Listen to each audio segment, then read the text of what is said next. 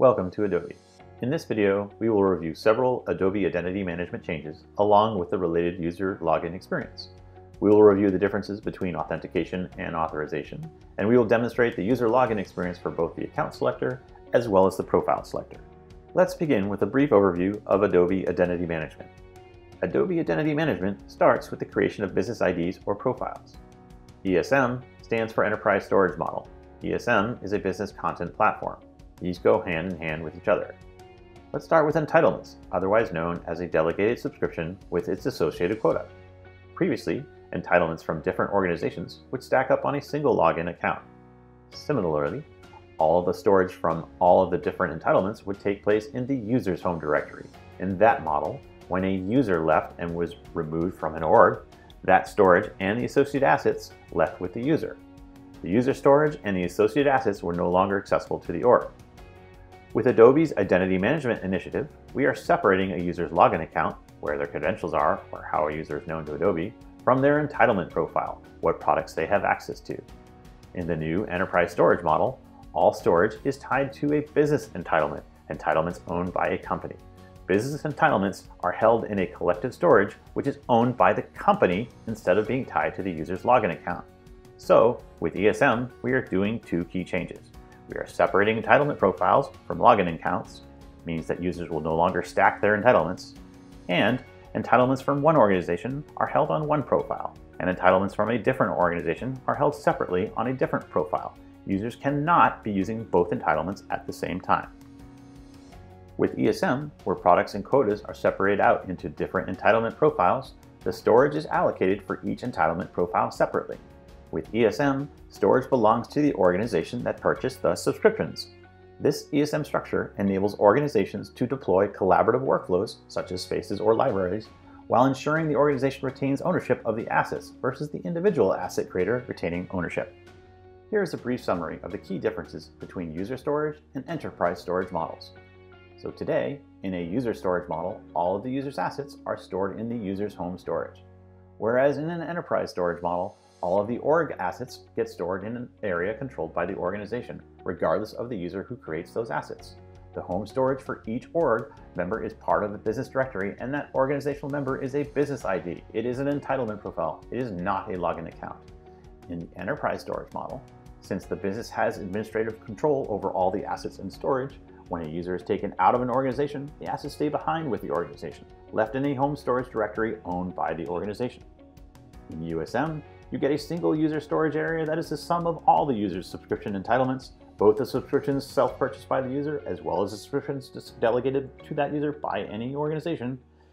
Whereas in ESM, since the entitlement profile is separated out, the ESM storage area has a total quota for the org, everything the org has purchased. Users do not get specific quota. In Creative Cloud Desktop, a quota is shown, but this is a soft quota, correlating to the subscription the user was delegated by that organization. In summary, the key difference between USM and ESM pertains to asset storage and asset reclamation. In USM, when an org removes a user, the user retains full control over the assets, whereas in ESM, upon user removal, the assets stay in the home storage directory owned by the organization. Let's now review the user login experience. For illustrative purposes, consider the following example, which depicts a more complicated user login experience. In our example, the user has both an Adobe ID and an Enterprise ID under the same email address. First, the user has an Adobe ID or personal entitlement, and this user has also been invited to a team which has given them a team entitlement. Second, the user has an Enterprise ID, which has a CCE entitlement, and here the user has also been invited to a team which has given them a team entitlement. So the user has two login accounts, and each login account has two different entitlement profiles. This configuration frequently prompts the question, how is it possible for a team to have both an enterprise and federated user in it? The answer is simple, it doesn't. It has an entitlement profile, and that is linked to the enterprise or federated user. We'll illustrate what this configuration and login experience it looks like in the following slides. Again, here's a quick recap in the order which this configuration can occur. First, the user begins with an Adobe ID, here, in our example, the user purchased Photoshop. Then, a team is created, and that team invites this user. At that point, when the user accepts the invite, a business ID gets attached to the user's Adobe ID. This means there is an entitlement profile that cannot be logged into directly. Rather, it is a member of a team. In order to log into that team entitlement profile, into that business ID, the user has to first log into their Adobe ID and then select the team entitlement profile. Third step, our company purchases an enterprise product for which an enterprise org was created, the admin claimed a domain, and then added the same user to the newly created enterprise org. At this point, the console identified the user was being added into a claimed domain, which is owned by the org, so it creates an enterprise ID with the same email address. Note, once a domain has been claimed, there is no longer a choice to invite the Adobe ID to an org. It will always create an enterprise ID when there is a claim domain. At this point, the user is assigned Photoshop tied to that enterprise ID. So now there's an enterprise ID login account with an entitlement profile, Photoshop, linked to that login ID. Lastly, yet another team is created. The same user is added to this new team. Now, because there is an enterprise ID on that user's email, it is the enterprise ID that gets attached to the business ID that is invited in this case. In summary, if there's an existing enterprise or federated ID attached to an email and that email is added to a team, the business ID that is added to that org will be attached to the enterprise or federated ID, not to the user's Adobe ID. Let's take a look at what this looks like. Let's start with the sign-in screen. Here, our user logs in. They type their email address, and this is always the first step, and then they click the Continue button. This brings our user to the Select an Account prompt, which is also referred to as the Account Selector. So here, our user is presented the option to select the desired account. Remember, this is the login account, an account with credentials. So in our example, since the user has both an Adobe ID, personal account, as well as an enterprise ID, company or school account, they are presented a choice to select either personal account or company or school account. Note, many Adobe customers may only have an Adobe ID or an enterprise ID. Only in specific instances such as in today's example, would a user see both account options.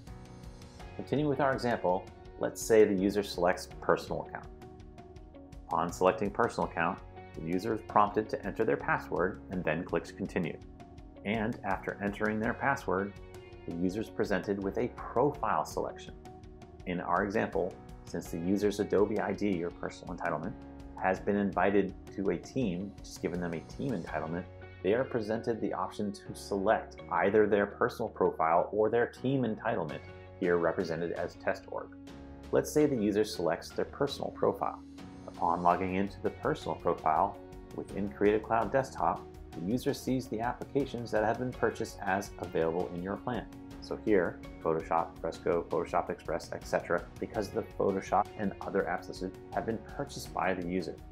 Note, although the team has given this user license to Illustrator, it does not list Illustrator as available in your plan. And this is because the user logged into their personal profile.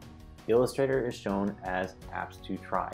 If the user had instead selected their team entitlement, represented by test.org, then after selecting their test.org profile, the user sees within the Creative Cloud desktop that Illustrator is listed in available in your plan since the team had given this user an Illustrator subscription.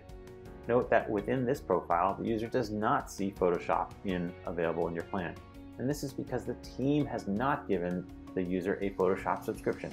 Remember that in our example, the user wants to use Photoshop, they'll need to be logged into their personal profile, the profile in which the user purchased the Photoshop subscription. Also notice that when the user has selected the team entitlement test org, the user has one terabyte of cloud storage whereas when the user selected their personal profile, the available storage was only 100 gigabytes. So, for team entitlements in Creative Cloud Desktop, although a storage quota is shown, for teams this is a soft quota, correlating to the subscription the user was delegated by that organization. This means that if a team had three delegated users, and the team would have a total of three terabytes of shared cloud storage. Each user can use this shared total, provided that the total storage does not exceed the cumulative 3 terabytes available to the team. Let's return to the Account Selector screen. To recap, in our example, since the user has both an Adobe ID personal account as well as an Enterprise ID company or school account, they are presented a choice to select either personal or company or school account. This time, let's take a moment to review the experience when the user selects company or school account. Upon clicking company or school account, they are presented with this profile selector sign-in. Notice there is no personal profile shown in this profile selector. This is because they do not have a personal profile on their enterprise ID. Remember here, the user has their ETLA or enterprise ID, which has a CCE entitlement, and the user was also invited to a team, Team Org 1. Let's say the user at this point selects their ETLA profile. Upon selecting their ETLA profile, the user sees Photoshop in available for your plan with an associated 1 terabyte of storage. Again, this is because this is an enterprise Photoshop entitlement, not a personal entitlement. Notice that Illustrator is not an app listed in there available in your plan because the user has not been delegated an Illustrator license by this ETLA org. However, if the user had selected their Team Org profile, Team Org 1, then, upon selecting Team Org profile Team Org 1, then in Creative Cloud Desktop, the user sees that Illustrator is available in your plan because the team delegated the user an Illustrator license. Whereas here, Photoshop is only listed as apps to try because the team has not delegated this user a Photoshop license. In summary, there are account selector screens and there are profile selector screens. Account selector is always the first screen presented to the user and is only shown when the user has both an individual account, personal profile, and a company or school account associated with the same email address. The account selector is always shown before the user enters their password or federated credential and logs in. The account selector is always shown even if the user has no paid entitlement profiles on the account they are logging into. And in turn, the profile selector always comes after the user enters their password or federated credential, after the user has chosen their account and logged in. The profile selector will only appear if the login account has profiles from multiple sources. Also, the profile selector can appear when switching from one web page to another, specifically because the profile used in each page could be different, i.e. the Creative Cloud Desktop would recognize the user is logged into a given account, but will ask the user when multiple profiles are tied to that account to choose which profile they want to work in. Now that we've reviewed the possible user login experiences, Let's conclude this session with a brief summary of key admin experience changes specific to user profiles. Users with domains not owned by the org will be added as business IDs. After migration, existing Adobe ID user accounts will be displayed with the type Business ID.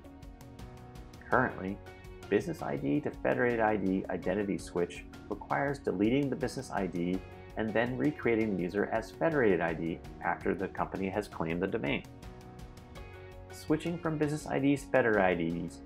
When deleting a business ID, the user's Creative Cloud assets can be retained and reassigned within the org by admins through asset reclamation. However, please note, asset reclamation is not available for Document Cloud or Lightroom assets. Therefore, any Document Cloud or Lightroom assets will first need to be downloaded and saved locally by the user. Thank you. This concludes today's user login overview learn more, please check out the HelpX links listed below.